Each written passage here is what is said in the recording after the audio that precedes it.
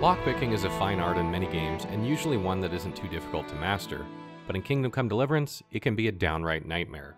It took me a good solid hour to get the hang of it on a controller because Warhorse clearly designed it for a mouse and keyboard. And while still a bit challenging with these tools, it's nothing compared to trying to do it with two analog sticks. In this guide, I'll give you some tips on how to overcome this oversight and still get somewhere with lockpicking so you can get your thief on. You can learn how to lockpick when you meet Miller Peshek in Rattay after the prologue.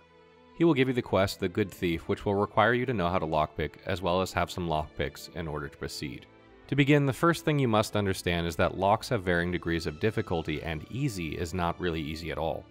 The chest you are given to pick as the tutorial has a steep curve, and you can get a better idea of what I mean if you simply walk past Peshek and head up to the house on the left where you woke up, and just a few paces from where you first stepped outside into Rattay. There is a very easy door there, and it's night and day difference. These will get easier as your skill improves with lockpicking. Second, you must understand that the sweet spot when the cursor turns golden moves not just counterclockwise, but also up and down a bit.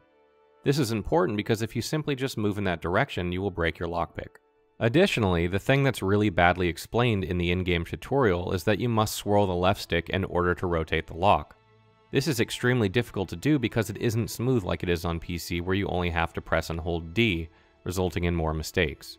You also don't have the pinpoint accuracy with analog sticks that you do with a mouse, so it can be really frustrating even on easy locks. When first learning to lockpick, you want to turn the left analog counterclockwise starting from about the 11 o'clock position or so.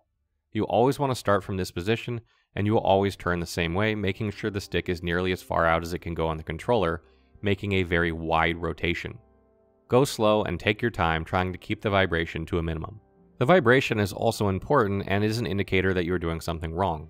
The stronger it vibrates, the more likely it is that you will break your lockpick, and also keep in mind that your lockpick has a health bar, so the more it vibrates, the less it can take. This means if you vibrate too much early on, you won't be able to pick the lock.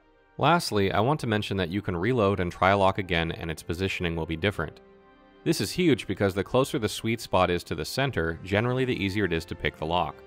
So if you find yourself in a position where you absolutely must pick a lock and just can't seem to, try reloading until you get a desired starting sweet spot. Stay tuned for more Kingdom Come Deliverance guides and coverage throughout February with our review coming in just a couple of days.